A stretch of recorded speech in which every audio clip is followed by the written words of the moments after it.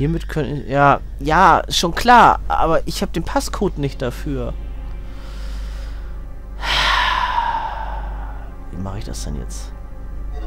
Ist mir jetzt echt ein Passcode durch die Lappen gegangen? Oder gab es hier irgendwie einen Hinweis da drauf? Hier war doch dieser Roman. Warte mal.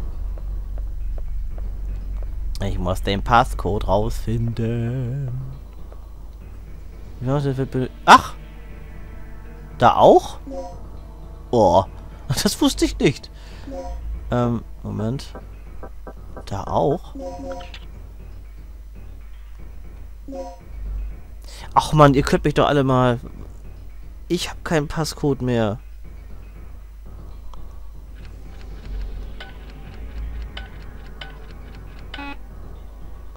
Ja, was mache ich denn? Ich probiere jetzt nochmal alle durch, die ich hier habe.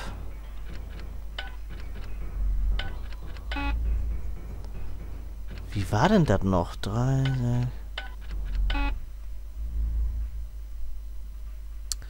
Ja, geil, ne? habe ich hier... Das sind aber alle Zahlen, die ich hier habe. Oder habe ich mir irgendwo nochmal eine andere Zahl aufgeschrieben? Hier ist ein... Ah, ne, das ist ja... Ach, das sind ja uralte Zahlen hier. Nee. Die haben damit auch nichts zu tun. Hm.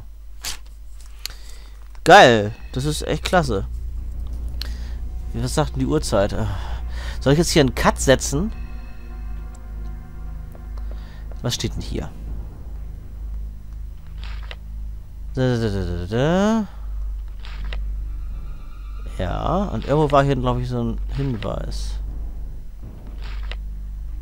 So, passt mal auf. So.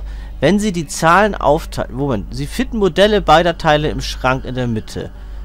Wenn Sie sie noch nicht gesehen haben, sehen Sie sich auf jeden Fall an. Wenn Sie die Zahlen aufteilen, die Sie erhalten, wenn Sie die Kernkomponenten bekommen und eine Null vor jede Zahl setzen, ergeben Sie die Codes, die Sie benötigen. Also die Zahl der Kernkomponenten aufteilen und eine Null davor setzen. Ich, also ich soll mir die Modelle angucken. Da sind doch keine Zahlen drauf. Soll ich mir die Kernkomponenten mal angucken? Moment. Kernkomponente 1 prüfen. Ja, 1. Soll ich dann... Ich habe Kernkomponente 1 und ich habe Kernkomponente 2. Das ist jetzt ja nun kein großes Rätsel. Das ist Kernkomponente 2. Und dann soll ich die aufteilen und eine 0 davor setzen, oder wie? Das heißt 01, 02. Das ist doch Quatsch. Was, was verstehe ich da jetzt nicht? Und kann ich mir den anderen auch nochmal angucken hier? Warte, halt, nee, das wollte ich gar nicht. Den? Kann ich mir den nochmal angucken? Das ist für ein Initiator, ist schon klar. Kann ich den eigentlich... Nee, kombinieren kann ich hier nicht, nee. Das klingt jetzt einfach viel zu einfach. Warte mal. Es hängt schon mit dem Rätsel hier zusammen auf jeden Fall, ja. Teile gleich, gleicher Art sind dort gelagert. Sie können sicher. Ach so, das, ach so, das ist, das öffnet sich praktisch dann, ja. Also nochmal, ach, jetzt muss ich die Planungsliste rausgraben. Ich will das Rätsel jetzt so lösen. Das kann eigentlich nicht so schwer sein, ne? Ohne, dass ich jetzt praktisch nachgucke. Aber 0102 ist doch total bekloppt. Nee. Und 0201 auch nicht. Die Zahlen aufteilen.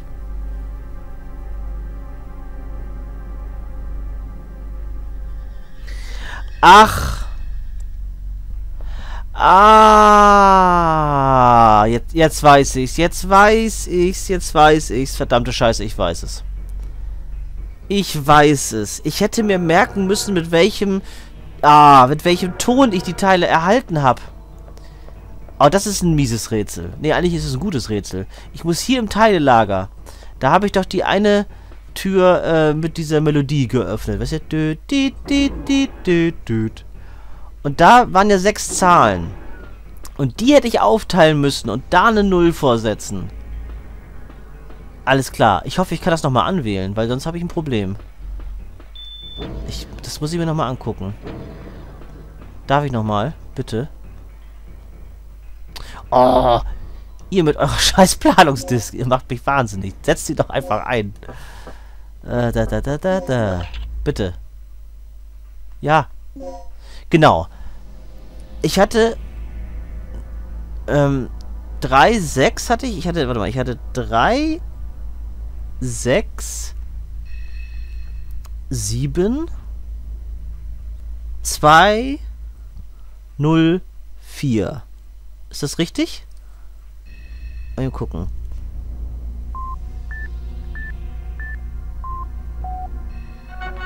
Genau. So, die soll ich aufteilen und vor jeden eine 0. Dann hätte ich 0367 und 0204. Oh, ich hoffe, das ist jetzt die richtige Lösung. Boah, okay. Zum Glück bin ich noch selbst drauf gekommen. Da bin ich ja schon halbwegs stolz auf mich, aber... Oh, gut. Ja, das Rätsel ist geil. Muss ich ganz ehrlich sagen. Das Rätsel finde ich ziemlich geil. So, das muss ich also jetzt schaffen. Und dann muss ich die Teile zusammensetzen. Aber mir fehlt ja immer noch ein Teil. Ne? Also ich habe dann ja nochmal zwei dazu. Oder ist es in dem einen Raum doch noch ein zweites Teil gewesen, wo ich nur eins gefunden habe? Da gucke ich dann gleich nochmal. Oh, herrlich. Ich freue mich gerade. So.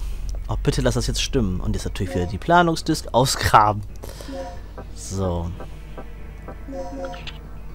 Also ich sag mal, das ist 0367. Bitte, bitte, bitte. Oh, danke. Ha.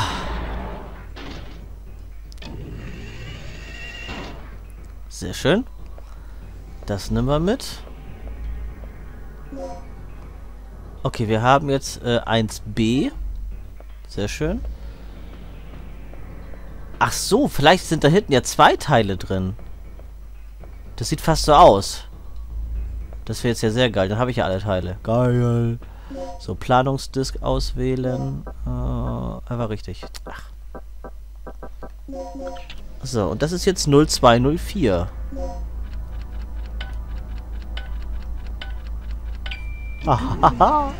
ja, es sind zwei Teile. Geil. Jetzt brauche ich die nur noch zusammensetzen. Ha. Den nehmen wir mit. Okay. Und noch den anderen. Das ist er hier. Sehr schön. Gut, haben wir alles. Jetzt können wir damit in den anderen Raum gehen, wo ich die zusammensetzen darf. Und dann muss ich die in den Generator einsetzen. Und dann dürfen wir auch endlich mit dem Fahrstuhl runter und vielleicht noch die beiden A-Türen öffnen. Das wäre super. So, das, welcher Raum war das jetzt? Ich glaube hier, ne? Hier muss ich die zusammensetzen. Das hoffe ich jetzt. Ich glaube, das war hier, ja.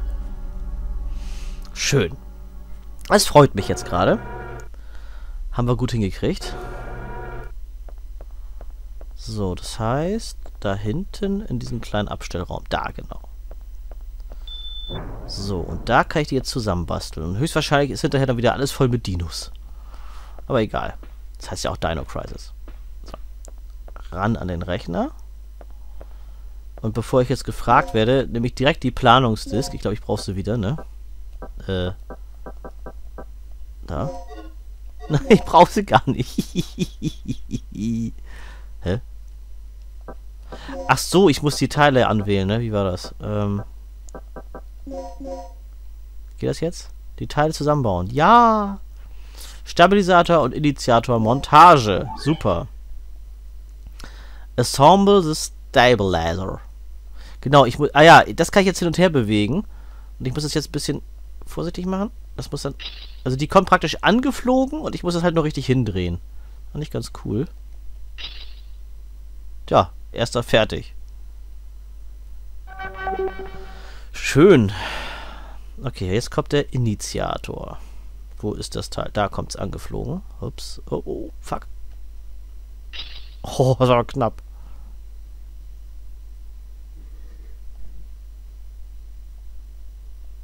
So. Hahaha. Bin ich gut. Okay. Die Teile haben wir. Jetzt kann ich die da entnehmen. Oder wie? Aha. So. Das ist also der Stabilisator. Gut. Und jetzt kommt der Initiator da auch noch raus. Aha, wahrscheinlich öffnet sich das jetzt nochmal. Hallo? Liebes Gerät. Hm. Also ich weiß es nicht. Ich glaube, ich habe das damals nicht gemacht. Da bin ich mir eigentlich ziemlich sicher. Und bei der letzten Entscheidung, die wir nachher noch treffen müssen, da bin ich mir hundertprozentig sicher, welche ich damals getroffen habe. Und ja, deswegen glaube ich nicht, dass wir da großes falsch machen können. So. Hier raus. Und jetzt, wo muss ich jetzt eigentlich noch hin? Ach, jetzt muss ich jetzt zum dritten Generator Energiedingsraum. Vielleicht sollte ich vorher nochmal eine Abspeicherung vornehmen. Wäre vielleicht ganz gut. Gerade kein Dino hier, was mich wundert. Na gut. Muss ja auch nicht. So, da raus. Ja, ich werde einmal im kurzen Abstecher über die Sicherheitsschleuse dann nehmen. Denn dann werde ich nochmal gefragt. Wegen Speichern. So, genau. Und dann gehen wir da wieder rein und dann haben wir es. Wir haben auch die ID-Karte von Kirk. Alles, wir müssen jetzt eigentlich alles haben. Ich glaube, wir müssen nichts mehr zusammenbasteln. Also Rätsel sind jetzt eigentlich erledigt, glaube ich, in diesem Spiel. Es kann sein, dass vielleicht irgendwo nochmal so eine Tür ist, wo wir dann sagen müssen, ja, da musst du nochmal was zusammenbasteln oder irgendwie so. Also so, so, so, so ein kleines Bilderrätsel da machen. Aber an für sich müssten wir größtenteils alle zusammengebaut haben. Und wir gehen jetzt mit großen Schritten Richtung Finale. Denn jetzt geht es daran, den Generator zu überhitzen. Äh, ich muss auf jeden Fall, bevor wir das Ganze machen, nochmal an irgendeine Box, damit ich meine Granaten da rausnehme. Aber ich glaube, wir kriegen nochmal eine Box zugeteilt, bevor der... Ja, ja, doch, ich weiß, wo noch eine Box ist. Ja, ja. So, ähm... Genau, hier ist gerade kein Dino, was gut ist. Also diese Giftpfeile sind schon ziemlich geil. Ne? Also ich muss sagen, die retten einem wirklich das Leben. Wenn man hier nur auf äh, die Pistole und die Schrotflinte angewiesen ist und vielleicht noch ein bisschen Granatmunition, wobei man die aufschonen sollte, sag ich ja, ne? Ähm, dann hat man hier echt die Arschkarte gezogen. Und ja, ist schon ganz gut so. Mit den Pfeilen, dass man das irgendwie hinkriegt. So, jetzt können wir den roten Knopf, äh, den grünen Knopf drücken. So, was kommt jetzt hier hin? Stabilisator oder Initiator? Probiere einfach eins von beiden aus. Ich glaube, der Stabilisator kam unten hin. Deswegen nehmen wir jetzt hier mal den Initiator. Äh, wo ist er? Da. Nein. Dann packen wir den Stabilisator hier rein. Zack. Perfekt. Jo. Sehr schön. Kann ich jetzt hier schon was bedienen? Ich glaube, das geht aber noch nicht. Ich muss erst beides reinpacken, ne? Ja. Ja, ja, ja, ja. Gut, dann fahren wir jetzt noch den Fahrstuhl runter und packen da den Initiator rein. Und dann haben wir es bald, meine lieben Freunde. Ich mag dieses Finale total. Das ist, irgendwie hat das eine richtig geile Stimmung, dieses Spiel, finde ich. Es ist natürlich nicht ganz so mysteriös und unheimlich wie jetzt zum Beispiel Resident Evil, aber die Geschichte an sich ist schon ziemlich geil. Und ich mag halt auch diese Bedrohung durch die Dinosaurier. Das ist halt was anderes, finde ich, als Zombies, weil die Dinos sind halt auch schnell und wendig und die können eigentlich ziemlich schnell töten. Die Zombies sind natürlich, ja, da kann man auch mal notfalls vorweglaufen. Klappt hier auch mit dem Weglaufen hin und wieder, aber die Raptoren sind schon sehr, sehr schnell. Und ja, weiß nicht. Hat, hat einen eigenen Charme, das Spiel, auf jeden Fall. Aber merkt halt auch total, dass es halt in die gleiche Spielerei irgendwie so ein bisschen reinfällt. Weil es von der Aufmachung her genau das gleiche ist und es sind halt die gleichen Entwickler. Ist aus der gleichen Zeit das Spiel. Das ist schon ziemlich geil alles. Ich mag das. Und es gibt durchaus Parallelen und äh, es werden ja auch so aus seitens von Capcom äh, kleine ja, Schwenker zwischen den Serien gemacht. Das heißt, man kann ja in Teil 3 von Resident Evil, hatte ich ja schon mal erzählt, sich als Regina verkleiden und da rumlaufen. Also, es ist schon ziemlich cool. So. Das haben wir. Dann kann ich jetzt hier unten den PC bedienen, hoffe ich. Komm. Ah. Bitte, bitte, bitte. Ah. Ui. Irgendwie eine große Hydraulik, wie es aussieht. Fährt da einfach so aus der Wand heraus. Okay. Das gleiche machen wir jetzt nochmal oben, würde ich sagen. Und dann müssen wir, glaube ich, am Hauptgenerator noch was einstellen. Und dann kann ich endlich runter zu meinen Türen, die ich schon seit einer halben Stunde oder noch länger öffnen will. Ich hoffe nur, dass ich dann nicht enttäuscht werde. Da ist da voll die Scheiße in den beiden Räumen drin. Aber ich habe echt gedacht, da wären die Teile drin, ne? Ich habe nicht gedacht, dass die alle auf der gleichen Etage sind. Ah, umso besser. Das ging ja eigentlich ganz gut, das Zusammenbasteln. So. Dann habe ich jetzt aktuell gerade die Schrotmunition oder die Giftpfeile ausgewählt? Ich weiß es gerade nicht. So, jetzt bitte hier nochmal. Mhm.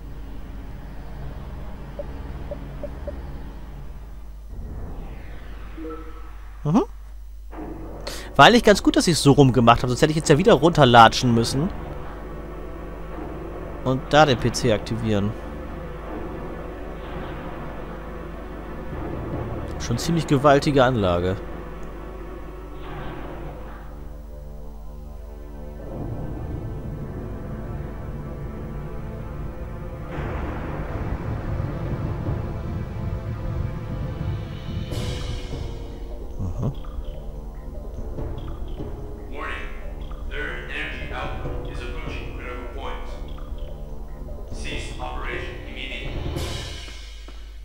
Okay, sie läuft automatisch weg. Wahrscheinlich geht es jetzt nochmal zu Dr. Kirk und äh, Gail und Rick.